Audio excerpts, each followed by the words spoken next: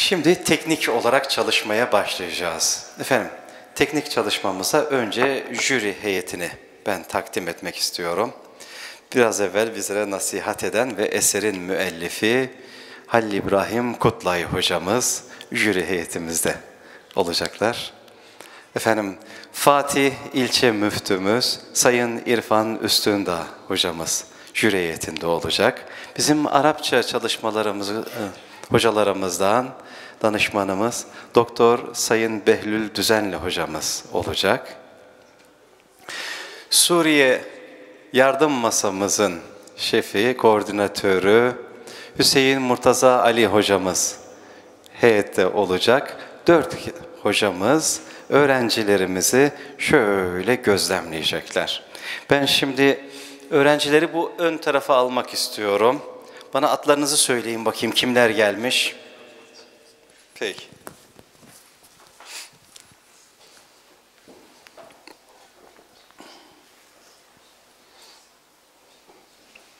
Yoklama yapıyorum. Söyleyin bakayım atlarınızı. Abdus Samet Vergül. Mehmet Kardeş. Sadık Karaman. Kadir Kavak. Dört hafızımız. Şimdi böyle oturmanızı istiyorum yavrum. Böyle cemaatimize dönük olarak, sırtınız bana dönük olsun. Şimdi teknik olarak ifade etmek istiyorum. Önce şunu arz edeyim hocam. Yarışacak öğrencilerimizin adları orada yazılı. Dört kategori olarak değerlendirdik. Bir hadis, onu ben alayım hocam müsaadenizle.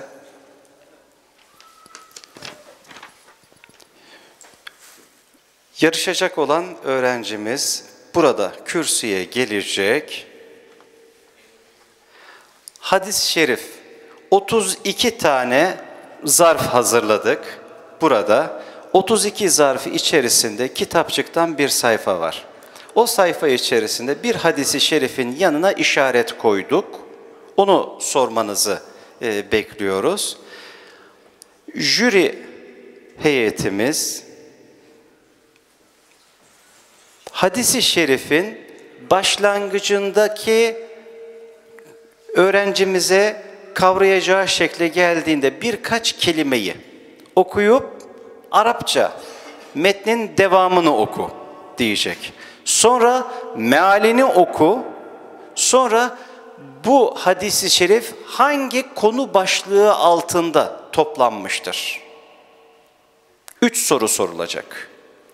Her bir öğrencimiz beş tane zarf seçecek kendi adına, jürinin masasına bırakacak. Jüri başkanımız veya jüri içerisinde sözcümüz bu e, zarfları birer birer soracak öğrencimizin kendi seçtiği zarfları.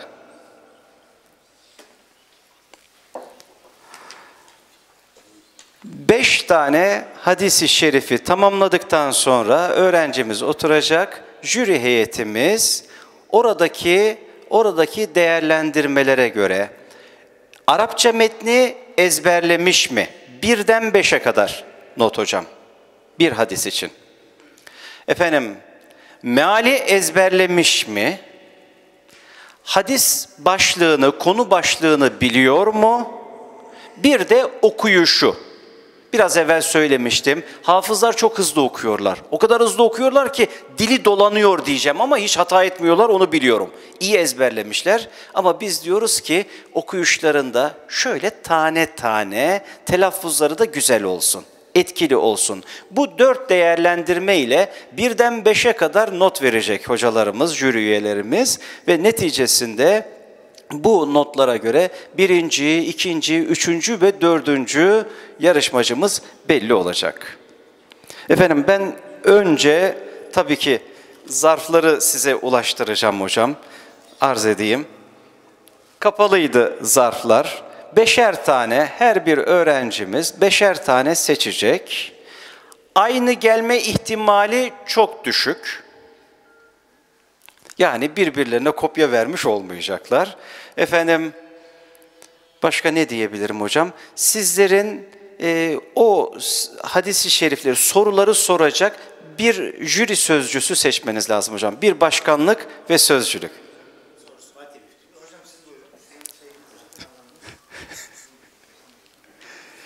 Efendim, o zaman sıradan müsaadenizle sağdan başlayalım yavrum. Beşer tane hocam. Her bir öğrencimiz oradan kendi adına beş tane zarf seçecek. Önce sen Abdülsamet. İstediğin başından, ortasından, sonundan. Beş tane zarf.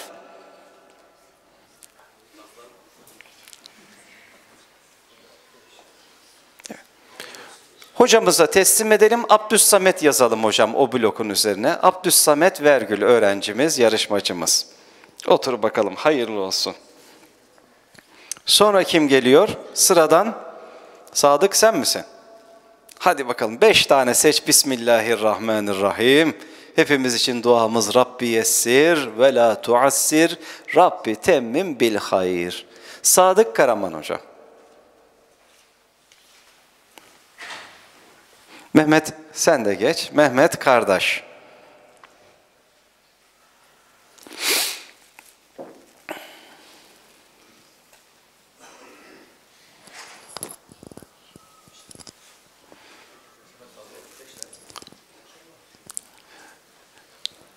Mehmet kardeş beş tane seçti. Ve dördüncü son yarışmacımız da Kadir Kavak. O da beş tane hadisi şerifi seçti.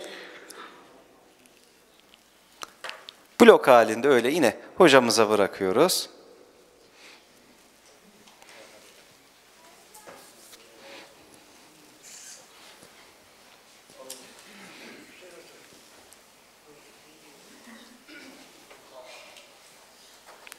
Bismillah. Bismillahirrahmanirrahim. Bismillahirrahmanirrahim. Elhamdülillahi Rabbil alemin. Ve salatu ve selamu ala Resulina Muhammedin ve ala alihi ve sahbihi ecmain. Tabi öyle görünüyor ki bu öğrencilerimiz bu hadisi şerifleri ezberleyen öğrenciler arasında finale kalan öğrencilerimiz. Öyle görünüyor. En son e, bu hadis-i şerifleri ezberleyen bu öğrencilerimiz inşallah e, 40 hadis-i şerif mi 80 mi? Hocam kitabın tamamından. Yani 120 miydi? 120 hadis-i şerifi ezberlediler. Beşer tane. Şimdi onların kısmetine hangi hadis-i şerif var? Önce Abdüssamet Abdüssamet mi geliyor? Hadi Ver- bismillah Vergül'den Abdüssamet. başlıyoruz. Mikrofon çalışıyor mu? Kontrolümüzü yapalım. Güzel. Hocam Evet. Abdus ben yönetimi size teslim ettim Abdus efendim. Samet e, Vergül. Evet. Hafız Abdüssamet Vergül evladımız. İnne lekki. Evet 120 hadisi şerif arasından inne leki diye başlayan hadisi şerifi okuyacak bize. Evet. Kale Resulullah İnne lek minel ecri ala kadri nesabiki ve nefekatik. Sadaka Resulullah. Bir de bunun metnini okuyacak. E, mealini, tercümesini okuyor. Evet. Ey Ayşe, senin ecrin ve mükafatın yorgunluğun ve harcaman kadandır. Peki bu hadisi şerif hangi konu başlığı altında geçiyor? Aile. Aile konusu. Evet birinci hadisimizi böylece dinlemiş olduk. Heyecan var mı? Bir Samet.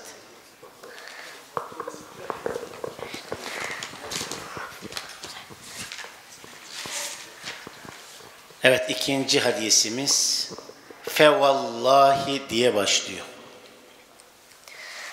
Gale Resulullah fevallahi li en yehdiyallahu leke racülen vahiden hayrun leke min en yekûne leke hamrun naam. Evet bunun tercümesi. Allah'a emin olsun ki Allah'ın senin sebebinle bir kişiyi hidayete erdirmesi senin için kırmızı değerli develerin sahibi olmaktan daha hayırlıdır. Evet, üçüncü hadisi soruyoruz. Üçüncü hadisi şerifi. Ka- Evet, konu başlığı neydi bu okuduğun? İlim. İlim. Üçüncü hadis-i şerifimizi Kale Resulullah dedikten sonra sallallahu aleyhi ve sellem diyoruz değil mi? Hafız Abdüssamet Le'anallahu diye başlıyor. E, bir kelime daha söylememiz lazım ki diğer laneden ayrı olsun. Le'anallahul vaşimati. Kale Resulullah sallallahu aleyhi ve sellem لعن الله الواشمات والمستوشمات والنامصات والمتنمصات والمتجلفات للحسن المغيرات لخلق الله صدق رسول الله oku. لعن, لعن الله الواشمات والمستوشمات والنامصات والمتنمصات والمتجلفات للحسن المغيرات لخلق الله Vel mütefellicati lil husn. Evet. Peki bunun tercümesi? Allah dövme yapan, dövme yaptıran, kaşları incelten, kaşları incelttiren, güzellik için dişleri seyrekleştiren kadınlara lanet etmiştir. Bir cümle daha var. Allah'ın yarattığı şekli değiştiren. Değil mi? Evet, bir sonraki hadisimiz. Evet, bu hadis hangi konu başlığı altında geçmişti? Rahmetten mahrumiyet. mahrumiyet. Evet, son hadisimiz oluyor. Evet, bu, hayır, dördüncü hadisimiz. Dördüncü hadisimiz. İza salletil mar'etu. Kale Resulullah. İza sallallahu aleyhi ve sellem. Sallallahu aleyhi ve sellem. İza salletil mar'etu hamseha وصامت شهرها وحفظت فرجها وأضاعت زوجها قيل لها ادخل الجنة من أي أبواب الجنة شئت Evet tercümesi. Kadın beş vakit namazını kılar, Ramazan orucunu tutar, namusunu korur ve eşine itaat ederse ona dilediğin kapıdan cennete gir denilir. Evet hangi konu başlığı altında geçiyor? İtaat. Son hadisimiz, evet bunu az önce okumuştuk. Teraktu fikum. Kale Resulullah sallallahu aleyhi ve sellem. Teraktu fikum emrayn len tazillu ma temessektum bihime kitaballah ve sünnete nebiyye. Evet, tercümesi. Size iki şey bıraktım. Bu kişiye sımsıkı sarıldığınız müddetçe asla sapıklığa düşmezsiniz.'' Bunlardan biri Allah'ın kitabı Kur'an-ı Kerim, diğeri ise peygamberin sünnetidir. Evet şimdi dört ayrı not veriyoruz. Evet konu neydi bunun? Kur'an-ı Kerim. Dört ayrı e, not veriyoruz. Konu başlığı, hadis metni, hadis meali denilmiş tercümesi ve etkili okumada birden beşe kadar not veriyoruz ve bu notları en son söylüyoruz tabi. Evet. Başarılar diliyoruz hocalarımıza.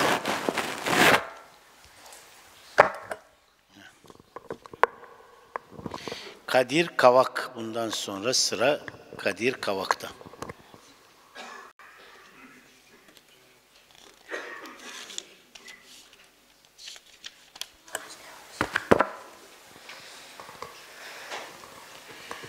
Evet, Kadir Kavak birinci hadisimiz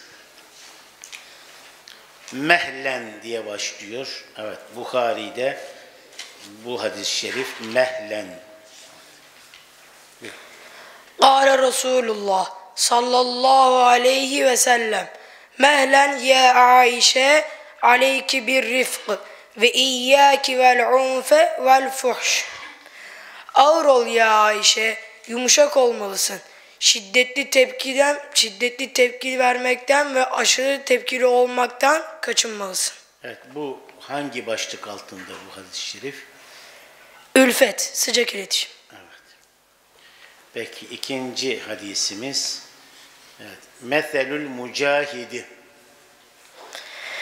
Kale Resulullah sallallahu aleyhi ve sellem Meselül mücahidi fi sebilillah Vallahu a'lemu bime yücahidu fi sebili kemetheli saimi vil qaim.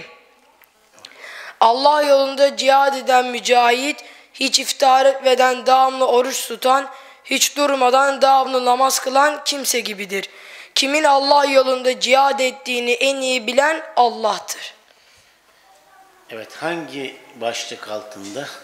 Allah yolunda cihad.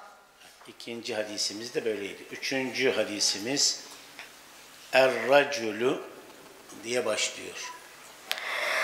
Kale Resulullah sallallahu aleyhi ve sellem Er-Racülü ala dini halilihi felyanzur ahadukum men yuhalil Kişi arkadaşının dini üzerinedir. Sizden biriniz kiminle arkadaş olacağına dikkat etsin. Evet, başlık neydi? Konu başlığı. İslam'ı yaşamak. Peki bir dördüncü hadisimiz İze tabakte diye başlıyor. Evet. Kale Resulullah sallallahu aleyhi ve sellem İza dabakte merkan fe ekthir ma'e thummen zur ehle beytin min ciranik fe asibhum minha bima'ruf. Yemek pişirdiğine suyunu çok koy. Sonra komşularından bir aile halkına bak, o yemekten onlara güzellikle ikram et. Evet, son hadisimiz. Konu başlığı neydi? Yakınlarımız. Evet, son hadisimiz. La'ane Resulullah diye başlıyor. Kale Resulullah sallallahu aleyhi ve sellem Lâne Resulullahi âkiler riba ve mukilehu ve kâtibehu ve şahideyh. Allah Resulü faiz yiyene, yedirene, yazana, faizli muamelede şahitlik yapanlara lanet etmiştir. Teşekkür ediyoruz. Allah razı olsun. Konu neydi? Helal haram.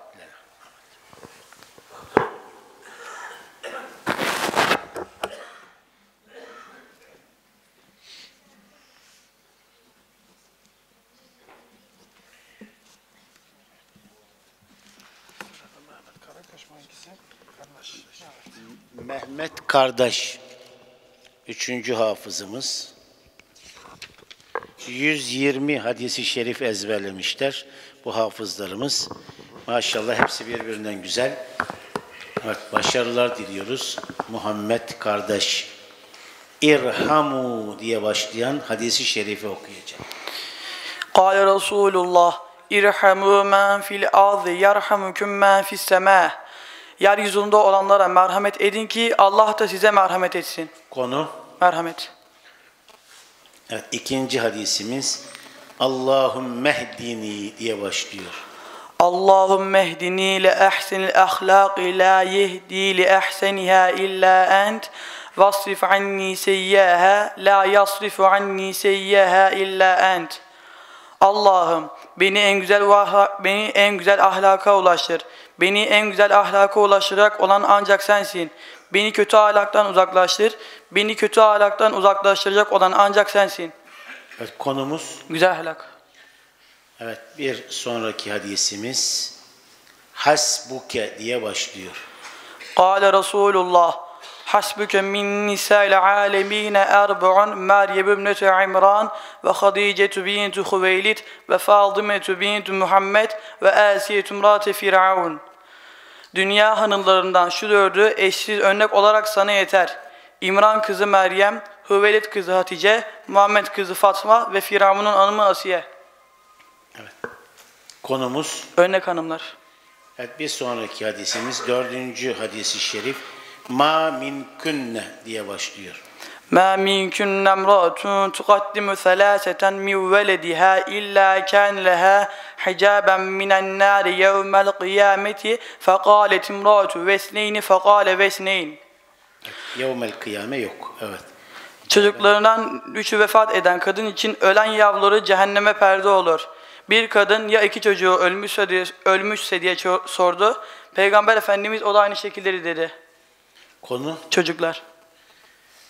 ve beşinci ve son hadisimiz İza etâekum İza ataakum ma İza, İza etâkum إذا أت- إذا أتاكم من ترضون خلقه ودينه فزوجه إلا تفعلوه تكون في الأرض فتنة وفساد كبير Ahlakına ve dindarlığına güvendiğiniz biri kızınıza talip olduğuna olduğunda onu kızınızla evlendirin.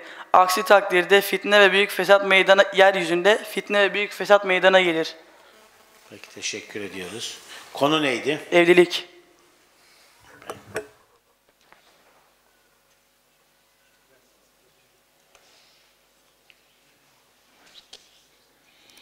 Evet son hafızımız Sadık Karaman.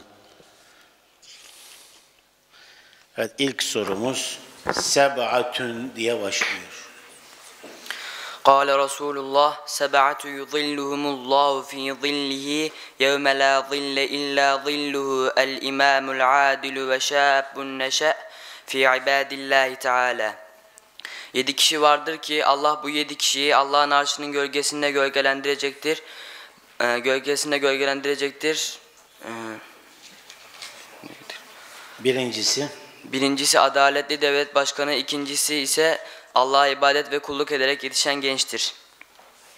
bir defa da oku. Seb'atün Sebe'atun yudilluhumullahu fi zillihi yevme la zille illa zilluh el imamul adilu ve şabun neşe'e fi ibadillahi teala. fi ibadetillahi teala. Konu Konu ilim, ee, ibadet hocam.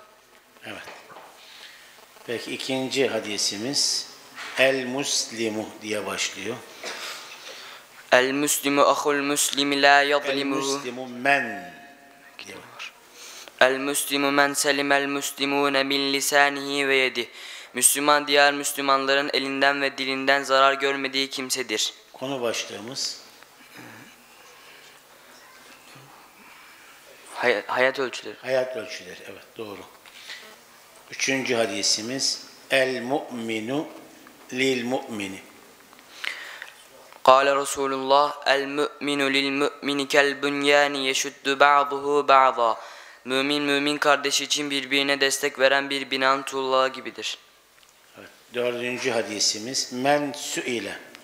قال رسول الله من سئل عن علم ثم كتمه ألجم يوم القيامة بلجام من نار Bir kimse bildiği bir mesele sorul- sorulduğunda e, gerçeği gizlerse kıyamet günü ağzına ateşten bir gem vurulur.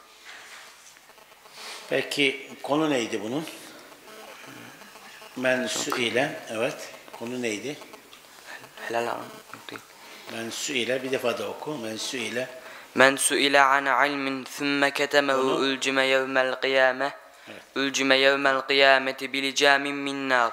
Bir kimse bildiği bir mesele sorulur da gerçeği gizlerse kıyamet günü ağzına ateşten bir gem vurulur. Konu ilim. Evet. El mu'minu lil mu'mini konu. El mü'minu lil mü'mini kel bünyani yeşuddu ba'duhu ba'da. Mümin mümin kardeşi için birbirine destek veren bir binanın tuğlaları gibidir. İman. Son hadisimiz Aleykum bi sünneti. قال رسول الله عليكم بسنتي وسنة الخلفاء الراشدين المهديين من بعدي benim sünnetime sarılın benden sonra gelecek olan ve kendilerine, kendilerine hidayet verilen Raşid halifelerin yani dört halifenin yoluna uyun. Peki Allah razı olsun.